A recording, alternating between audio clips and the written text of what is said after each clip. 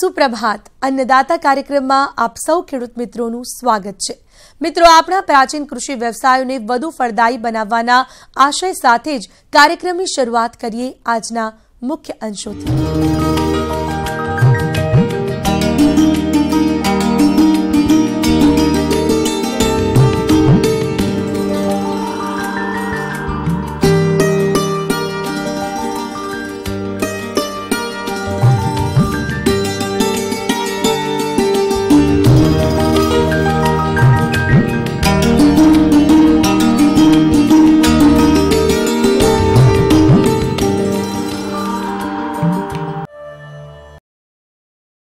ખેડૂત મિત્રો, ચોમાસાની સિઝન બાદ દક્ષિણ ગુજરાતમાં ખૂબ મોટા પ્રમાણમાં સાકરિયાની ખેતી કરવામાં આવે છે. સજીવ ખેતી આધારિત સાકરિયાની ખેતી એ ઓછા રોકાણમાં વધુ ઉત્પાદન આપે છે. દસ ગુઠા જમીનમાં અંદાજે પચીસો થી સત્યાવીસો કિલો સાકરિયાનું ઉત્પાદન થાય છે. ખેડૂત મિત્રો, એ સજીવ ખેતી પદ્ધતિથી મેળવી રહ્યા છે. તો ચાલો સાકરિયાની ખેતી વિશે માહિતી મેળવીએ. મારું નામ જયપ્રકાશ પ્રભુભાઈ ભંડારી, ગામ નારગોલ. તાલુકો ઉમરગામ અને જિલ્લો વલસાડ. મેં શક્કરિયાની ખેતી માટે પ્રથમ આ વરસાદ ગયા પછી એની તાત્કાલિક ખેડ કરી નાખવામાં આવી. ખેડ કર્યા પછી એની અંદર છાણિયું ખાતર દસ ગુંઠામાં એક ટ્રેલર એટલે એક બ્રાસ જેટલું થાય એટલું નાખવામાં આવ્યું. અને પછી એની અંદર ફરી પાછું એકવાર નાના ટ્રેક્ટરથી ટ્રિલિંગ કરવામાં આવ્યું. ટ્રિલિંગ કર્યા બાદ એને અઢી ફૂટના અંતરે ગાદી ક્યારા બનાવવા માટે એના પાળિયાના ચાસ ખેંચવામાં આવ્યા. જે ચાસની ઊંચાઈ લગભગ અડધો ફૂટ થયા પછી એની અંદર પાળ ઉપર પોલ્ટ્રી ફોર્મનું ખાતર પાયાના બેઝ તરીકે પાળની ઉપર નાખેલ છે. જે નાખ્યા પછી અત્યારે એનું પૂરેપૂરી વરાપ આવી ગયા પછી એની અંદર અમે આ શક્કરિયાના વેલાના ઉપરના છેંડા જે કૃષિ યુનિવર્સિટી નવસારી પરથી ખરીદીને અમે લાવ્યા છે, જે અત્યારે રોપવાની શરૂઆત કરી રહ્યા છે. જે સી સેવન્ટી વન નામની જે જાત છે, જેનું પ્રોડક્શન બીજી અહીંની સ્થાનિક દેશી જાતો કરતાં ત્રણ ગણું વધારે ઉત્પાદન આપે છે. જેના કારણે જ આ ખેતી આજના સંજોગોમાં અહીં નફાકારક થઈ છે. નહીં તો જે દેશી જાતો હતી, જેનું ઉત્પાદન ઘણું ઓછું આવતું ને હાલની મજૂરીની સરખામણીએ આ પાક આપણને નિષ્ફળ જતો. પરંતુ આ જે સી સેવન્ટી વન જે જાત છે અને ભૂક્રાંતિ, આ બંને જાતો ઉત્પાદન સારી આપે છે. જેના કૃષિ યુનિવર્સિટીના નિષ્ણાત શ્રી કેતનભાઈ, એમના માર્ગદર્શન હેઠળ હું છેલ્લા પાંચ વર્ષથી બનાવું છું. આ દસ ગુંઠાના ક્યારામાં લગભગ પચીસોથી સત્યાવીસો કિલો હું આ રતાળું અંદરથી કાઢું છું. જેને એક હોલસેલ ભાવે વીસ રૂપિયાના કિલો પણ આપણે વેચીએ, તો એની સારી એવી આવક આપણને ઊભી થાય છે. આ સી સેવન્ટી વન નામની આ જાત છે. જેનો ગર્ભ સફેદ હોય છે અને ઉપરની ચામડી ગુલાબી લાલ રંગની હોય છે. ને જે ખોદતી વખતે એ છોલાઈ જતી નથી અને અંદરથી સફેદ પડ બહાર આવી જતું નથી. અને એ જાતની અંદર વધારે પડતું એનો રેસાઓ નીકળતા નથી. માત્ર એક જ રેસો હોય છે ને ખાવામાં ઘણી મીઠી છે. અને આ બાજુમાં જે આગળથી જે પ્લાન્ટેશન થયેલું છે, એ ભૂક્રાંતિ છે, જે વિટામિન એથી ભરપૂર છે, જેનો ગર્ભ અંદરથી કેસરી રંગનો હોય છે ને ઉપરની છાલ પણ થોડી કેસરી પડતી હોય છે. જો આ બંને જાતોનું પ્રોડક્શનને કારણે સૌથી વધારે ઉત્પાદન એમાં મળે છે, એનું ઉત્પાદન વધારે હોવાને કારણે એ નફાકારક ખેતી થતી થઈ છે. આ જે ભૂક્રાંતિ છે એ કૃષિ યુનિવર્સિટી નવસારીના ડૉક્ટર કેતનભાઈ એમનું એક સંશોધિત છે ને આ ચાલુ વર્ષે જ આ જાતને આ વર્ષથી બહાર પાડવામાં આવી છે. બાકી સી સેવન્ટી વન છેલ્લા પાંચ વર્ષથી અમે રોપીએ છીએ અને આનું ઉત્પાદન સારું હોવાને કારણે એનું અમે વર્ષો વર્ષ એને રિપીટ કરતા આવી રહ્યા છીએ.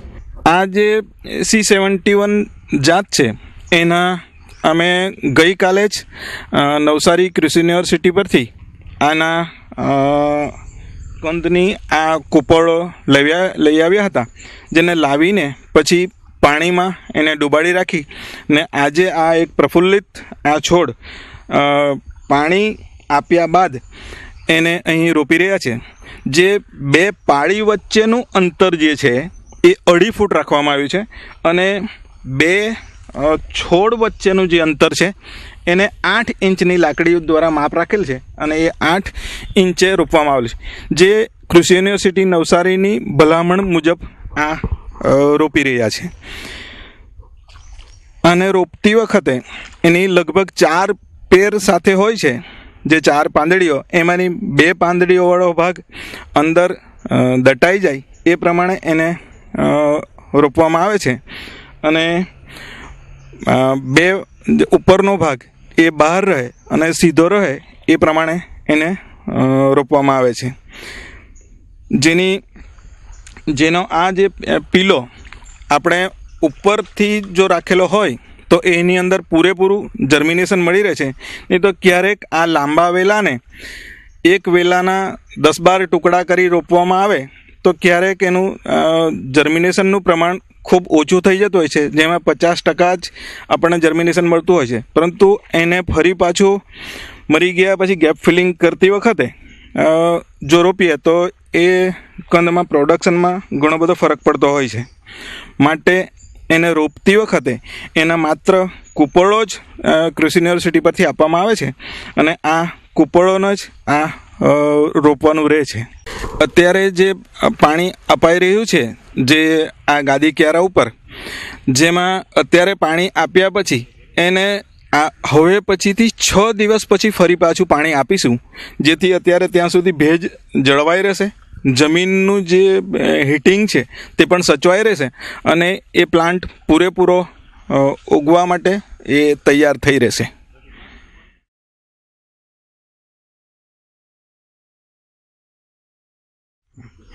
હાલમાં એ પાણી એક જ ક્યારામાં મૂકી આજુબાજુના ચાર ક્યારાઓમાં સ્પ્રેડ થાય છે. પરંતુ જ્યારે ફરી પાછું છ દિવસ પછી ફરી પાછું પાણી આપીશું, ત્યારે એક એક ક્યારામાં ધીમે ધીમે અને થોડું થોડું પાણી આપીશું. જેથી એને વધારે પડતું પાણી મળશે નહીં અને લિમિટમાં એને ભેજ જ મળે એ પ્રમાણેનું એને પાણી આપવામાં આવે છે. આજે જે આપણે પ્લાન્ટેશન કરી રહ્યા છે, એને હવે પછી એકસો દસ દિવસ પછી એને કાઢવાની શરૂઆત થશે. કાઢતા પહેલે આગલા દિવસે એને આ ઉપરના વેલાઓ કાઢી લઈ, ઉપર ત્રણ ઇંચનો ભાગ બાકી રાખી, વેલાઓ કાઢી નાખી જમીનને ખુલ્લી કરી નાખી. પછી એક પછી એક એને ટીકમ વડે ખોદી આપણે કાઢવામાં આવે છે. આની અંદર પૂરતી પાયાનું ખાતર આપેલ છે, પરંતુ એને જ્યારે એની અંદર એક જીવાત આવવાની શક્યતાઓ રહેલી હોય છે. જેમાં કૃષિ યુનિવર્સિટીની ભલામણ એ છે કે એની અંદર જો જીવાત આવે તો એ કંદ સડી જવા સડી જવા પામે છે. માટે એને ફેરાડોન પચાસ આ રૂપિયાના પચાસ દિવસ પછી ફેરાડોન અથવા ફોરેટ ટેન જી એને આપવામાં આવે તો એ પાકની અંદર જીવાતના આવવાને કારણે સડતું નથી. પરંતુ હું રાસાયણિક ખાતરનો ઉપયોગ કરતી નથી અને હું જીવામૃત આપું છું. જેના કારણે આ જીવામૃતને કારણે કોઈ રોગને જીવાત રહેતી નથી. પરંતુ બીજા ખેડૂતો આ પ્રમાણે ફેરાડોનનો ઉપયોગ કરતા હોય છે. આ શક્કરિયા જે છે, જેને સૌથી વધારે ઉપવાસમાં ખવાતી વસ્તુ છે, માટે એનો ઉપયોગ આપણે અત્યારે જે અત્યારે પ્લાન્ટેશન કરી રહ્યા છે, એ બરાબર શિવરાત્રિ અને હોળીના દિવસોમાં આ નીકળશે, જેનો એ દરમિયાનમાં એનો સૌથી વધારે ભાવ રહેતો હોય છે. આ ઉંબાડિયું બનાવીને વેચ જે આપણા વિસ્તારની અંદર વલસાડ જિલ્લા અને નવસારી જિલ્લાની અંદર જે ઉંબાડિયું બનાવીને વેચાય છે, એનું પણ પાપડીનું જે ઉંબડિયું બને છે, એમાં પણ આ શક્કરિયાને નાખવામાં આવે છે. એટલે આ જે પિરિયડમાં જો રોપાઈ જાય, આજથી નવેમ્બરના પહેલા વીકમાં તો એ પૂરેપૂરી પાપડીની સિઝનમાં આ નીકળતું હોવાને કારણે એનો એક કિલોનો બજારમાં પચાસ રૂપિયાથી સિત્તેર રૂપિયા સુધીનો ભાવ બજારમાં છૂટક વેચારમાં વેચાય છે. પરંતુ આપણે વેપારી ભાવ જો ગણીએ, તો મિનિમમ વીસ રૂપિયાથી ચાલીસ રૂપિયા સુધીના ભાવે આપણે હોલસેલ ભાવે પણ વેચી શકીએ. માટે એનો સારા ભાવ આપણને મળે, તો એવા સમયે જ એનું પ્લાન્ટેશન કરવાનું કે જેથી આપણને એ જ્યારે પાપડીની સિઝન ચાલતી હોય, ઉંબડિયાની સિઝન ચાલતી હોય, ઉપવાસની સિઝન ચાલતી હોય, એ સમયે એનું પ્રોડક્શન નીકળે અને બજારમાં એનો સારો ભાવ મળી રહે. હવે આગળ વધીએ અને જોઈએ કાર્યક્રમનો આગળનો ભાગ.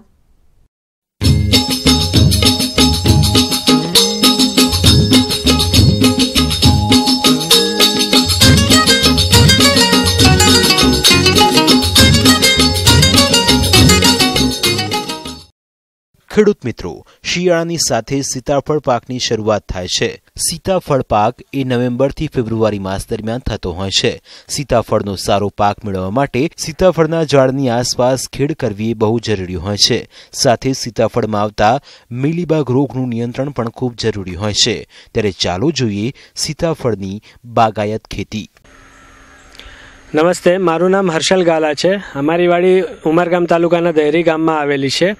અહીંયા અમે સીતાફળનો પાક લઈએ છીએ, જે આ જે પાછળ ઝાડ છે, લગભગ વીસ વર્ષ જૂના છે, પચીસ વર્ષ. પણ અમે પ્રુનિંગ કરીને એને નાની જ સાઇઝમાં રાખતા હોઈએ છીએ, જેથી કામ કરવું સહેલું થાય. અત્યારે આમાં ચોમાસા પછી બે ત્રણ વખત જે નિંદામણના બી થયા હોય, ચાર મહિનામાં એટલે અમે નિંદામણ કંટ્રોલ કરવા માટે વચ્ચે ખેડકામ કરીએ. એની સાથે સાથે જે પછી જે બચી જાય, એના પર વીડીસાઇડનો ઉપયોગ કરતા હોઈએ છીએ.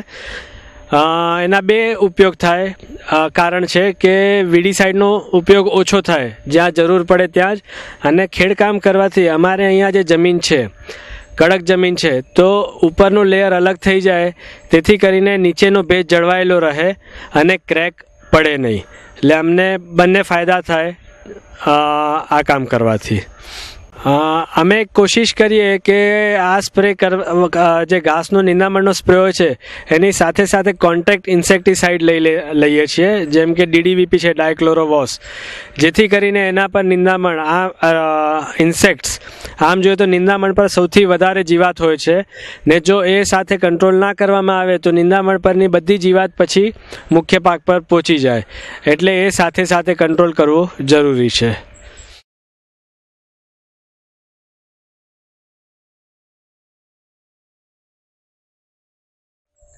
અત્યારે અમારો માલ હવે આમ જોઈએ તો મિડ એજમાં છે. લગભગ હજુ દોઢેક મહિના પછી હાર્વેસ્ટિંગ ચાલુ થશે. અને શિયાળાનો પાક છે, એના કારણે સાઇઝ બહુ મળે નહીં. પણ છતાં પણ ઓફ સિઝન છે, એનો થોડો બેનિફિટ અમે દરિયાઈ પટ્ટીમાં છીએ. એના કારણે આ માલ લઈ શકીએ છીએ. જેટલા દરિયાથી દૂર જઈએ, તો આ ફ્રૂટ સેટિંગ જલ્દી મળતું નથી. અને રેગ્યુલર લેવામાં ઝાડ પણ થાકે છે, આપણને જોઈએ એટલું પ્રોડક્શન મળતું નથી, એટલે એકાંતરે કે બે ત્રણ વર્ષે એક વખત આ ક્રોપ અમે લઈએ છીએ. અહીંયા અમે સીતાફળના ઝાડ અમારા ઘણા જૂના છે. એટલે એની વચ્ચે વચ્ચે નવા હનુમાનના, હનુમાન ફળ અનોના ટુ વેરાયટીના ઝાડ રોપી દીધા છે. જે આમ જોઈએ તો સીતાફળની જ ઇમ્પ્રુવડ વેરાયટી છે, જે લેસ સીડ એક ફ્રૂટમાં ઘણા ઓછા બી આવે. એવી જાત છે. પલ્પ રેશિયો ઘણો વધારે સારો મળે છે. સાઇઝ પણ સારી હોય છે. જસ્ટ અમે નવો હવે પ્લોટ આખો રિન્યૂ કરવાનો હતો, એટલે આ સ્ટેપ લીધું છે.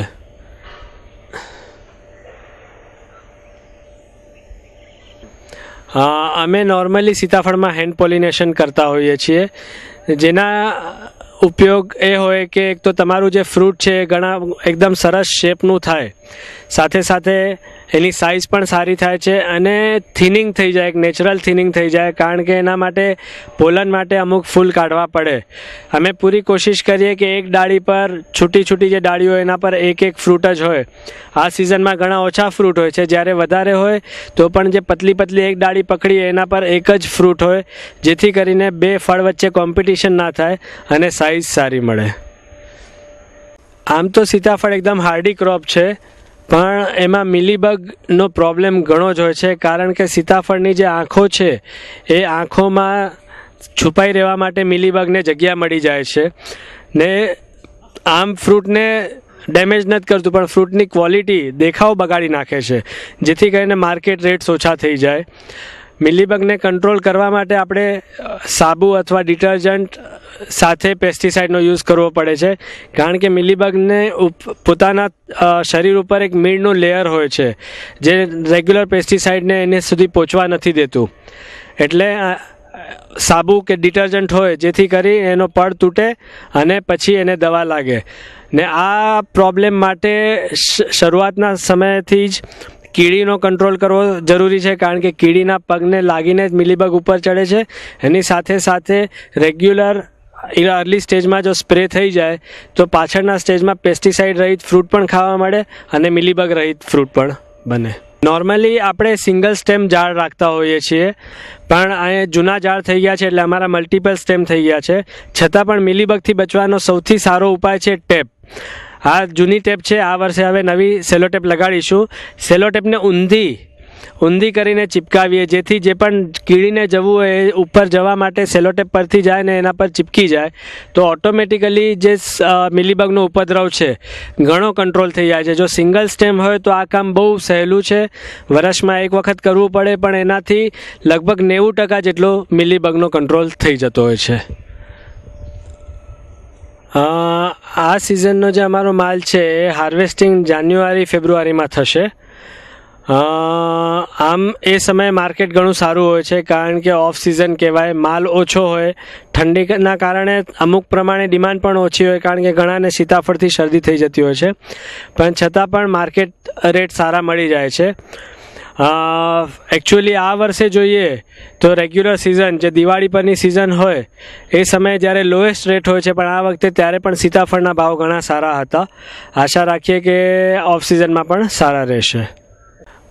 સીતાફળ એક પેરિશેબલ ફ્રૂટ છે, એની સેલ્ફ લાઈફ ઘણી ઓછી છે. એના કારણે એના એક્સપોર્ટ બહુ લિમિટેડ છે. નોર્મલી બહુ થતું નથી રિટેલમાં જ, એટલે લોકલમાં જ વધારે જાય છે. નજીકના દેશોમાં જ્યાં ઝડપથી પહોંચતું હોય, ત્યાં થોડું બહુ એક્સપોર્ટ થાય છે. પણ એક્સપોર્ટ માટે એ નહીં તો પલ્પ એનો સીતાફળનો પલ્પ ઘણો ડિમાન્ડમાં છે. એને ફ્રીઝિંગમાં પ્રિઝર્વ કરી અને ઘણી જગ્યા પર એક્સપોર્ટ થતો હોય છે. આ અમારા ઝાડ લગભગ પચીસ વર્ષ જૂના છે. અને આમ તો સીતાફળના ઝાડ પચાસ સાહીઠ વર્ષ સુધી ચાલે, પણ અમે જે પ્રુનિંગ રેગ્યુલર કરતા હોઈએ છીએ રેગ્યુલર ટ્રીમિંગ અને દર ત્રણ ચાર વર્ષે હેવી પ્રુનિંગ એના કારણે હવે એની લાઈફ લિમિટેડ થઈ ગઈ છે. એટલે અમને લાગે છે કે કદાચ અમારે હવે ચેન્જ કરવા પડે ને એટલે જ અમે વચ્ચે હનુમાન ફળના ઝાડ રોપી દીધા છે, કે જેથી અમે ક્રોપ ચેન્જ કરી શકીએ. ચોમાસા પછી રેગ્યુલર ડ્રીપથી અમે પાણી આપતા હોઈએ છીએ એને. શોક પીરિયડ ડિપેન્ડ્સ નોર્મલી ઉનાળામાં હોય. જેથી કરીને જે રેગ્યુલર સિઝન લેવી હોય ત્યારે અમને વાંધો ના આવે. અને અમુક વખત જો જરૂર પડે તો નાલીમાં પણ અમે પાણી છોડતા હોઈએ છીએ, કારણ કે આઠ કલાકની લાઇટમાં પૂરતું પાણી ઘણી વખત નથી પહોંચી શકતું. તો ત્યારે ફ્લડ ઇરિગેશન આપીને થોડું ક્વોન્ટિટી પાણી આપી દેતા હોઈએ છીએ. સીતાફળમાં અમે રેગ્યુલર દર વર્ષે બે વખત બેઝલ ડોઝ બેઝલ ડોઝ એટલે છાણિયું ખાતર અથવા મરઘા ખાતર આપતા હોઈએ છીએ. જે ડ્રીપ લાઇન તમને દેખાય છે, બે ડ્રીપ લાઇન વચ્ચે ચર કરી ને એમાં એટલા જ પોર્શનમાં ખાતર નાખીએ છીએ. સાથે થોડુંક કેમિકલ ફર્ટિલાઇઝર પણ નાખતા હોઈએ છીએ. અને એ પછી પાણી સાથે એકાંતરે, એકદમ રેગ્યુલર નહીં, પણ એકાંતરે કેમિકલ ફર્ટિલાઇઝર જતું હોય છે. સીતાફળમાં ફ્લાવરિંગ ચાલુ થાય, એ સમયે ઇરિગેશન કંટ્રોલ રાખવું પડ, ઘણું જરૂરી છે. જો ત્યારે ઘણું વધારે પાણી અપાઈ જાય, તો ફ્લાવર ડ્રોપિંગ થવાના ચાન્સીસ હોય છે. બીજું એ સમયે ભેજ પણ જળવાવી જોઈએ, એટલે પ્રોપર ઇરિગેશનની જરૂર છે. અમે હેન્ડ પોલિનેશન કરતા હોઈએ છીએ. જેથી કરીને ફ્લાવર સેટિંગનું પ્રમાણ સારું મળે અને સારો સારો શેપ મળે. એ પછી આમ તો સીતાફળને બહુ વાંધો નથી આવતો. જો મોલોમસીનો અટેક હોય અથવા પછી એન્થ્રેકનોઝ આ બે પ્રોબ્લેમ હોય છે. જે ભેજવાળું વાતાવરણ હોય તો એન્થ્રેકનોઝનો મોટો પ્રોબ્લેમ હોય છે. તો એના માટે ધ્યાનથી ઓબ્ઝર્વેશન રાખીને સ્પ્રે કરવું જરૂરી છે. આ જે પ્લોટ છે, અમારું ફ્લાવરિંગ સપ્ટેમ્બર, ઓગસ્ટ, સપ્ટેમ્બરની વચ્ચે થયું છે અને હાર્વેસ્ટિંગ ડિસેમ્બર એન્ડ, એટલે જાન્યુઆરીથી ચાલુ થશે. જાન્યુઆરી, ફેબ્રુઆરી સુધી લગભગ રહેશે. આમ પાંચ મહિના લગભગ ફ્લાવરિંગથી હાર્વેસ્ટિંગ સુધી શિયાળાના ભાગમાં લાગતા હોય છે. ને જેમ તમે થોડું જોઈ શકો છો, જેવી ઠંડી વધી છે, તો હવે પાનનો કલર બદલાય છે.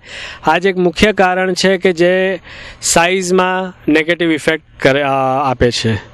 અને હવે જોઈશું કાર્યક્રમમાં આગળ શું છે આપના માટે ખાસ.